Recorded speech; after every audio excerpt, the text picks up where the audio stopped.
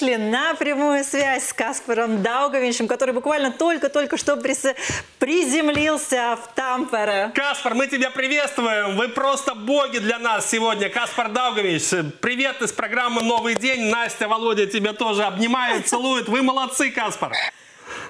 Добрый день. Спасибо, спасибо. Как настроение, Каспар? Все-таки, честно говоря, мы очень переживаем. И я хочу сказать, что на самом деле вот такое ощущение, что последнего слова сборная Латвии не сказала. Как там будет дальше, не будем загадывать. Но вот настрой. Вы сможете сохранить такой боевой настрой завтра? Ну, будем стараться, да. Мы только что прилетели в Тампер, э, вот заселяемся в гостиницу как раз э, Вечером чуть позже у нас тренировка будет, а, и будем готовиться уже к завтрашнему матчу. Каспар, ну на самом деле, вы все помним, с чего мы начинали этот турнир. Поражение от сборной Канады 0-6.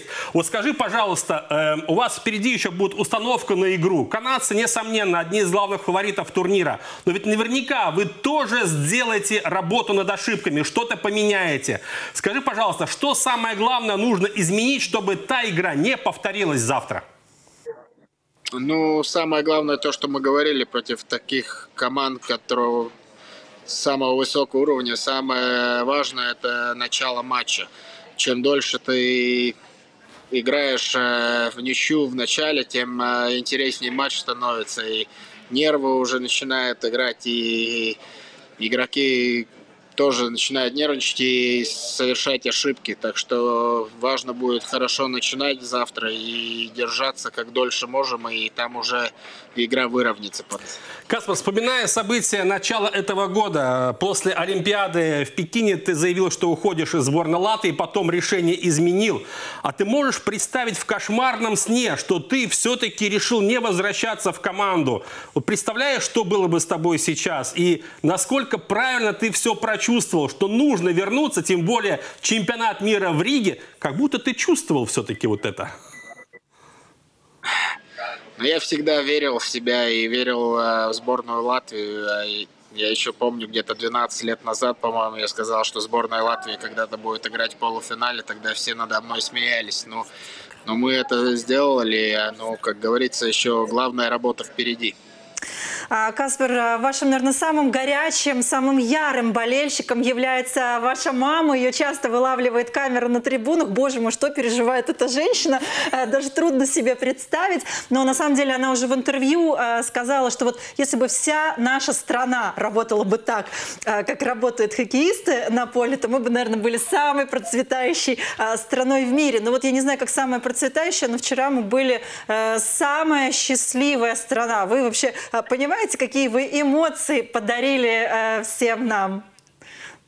Ну, я думаю, не только в Латвии, даже мы сами получаем огромные эмоции с этого приключения, так что хочем еще что-то, еще хотим удивить людей, так что будем стараться очень э, также дальше продолжать и удивлять. Каспар, еще такой личный вопрос. Мы с тобой эту тему тоже обсуждали. Вот честное слово, я когда вижу тебя на льду, я каждый раз вспоминаю твоего отца Арманда. Конечно, его нет с нами, но мне кажется, он, находясь там на небесах, все прекрасно видит, и он радуется вместе с твоей мамой за тебя. Мама на трибунах, отец э, в лучшем из миров, но тем не менее, мне кажется, он гордится тобой и рад, что так все в конце концов вышло. Жаль, конечно, что его нет на трибунах Арена Рига, но еще раз повторю, повторюсь, он незримо присутствует на каждой игре. Ну да, я думаю, он посылает всю помощь возможную нам, и сегодня у него было бы день рождения, так что это время всегда было одним из приятнейших времен вспоминать, когда он и на чемпионатах мира работал, и мы всегда встречались, так что этого мне, конечно, не хватает, но я знаю, что но он точно поддерживает и отдает все для нас. Так это подарок к папиному дню, дню рождения. рождения. Вот, да. вот это да, вот это да. Каспар, еще раз Большое спасибо. Мы все тебя обнимаем. Передавай привет всей нашей сборной и скажи, что вся страна, все очень поддерживают вас, наши дорогие ребята. Мы верим, что мы еще победим и пусть канадцы дрожат, потому что с такой сборной Латвии ни один соперник просто так не справится. Вам удачи, силы, выдержки. Спасибо огромное и спасибо за огромную поддержку. Спасибо, спасибо большое.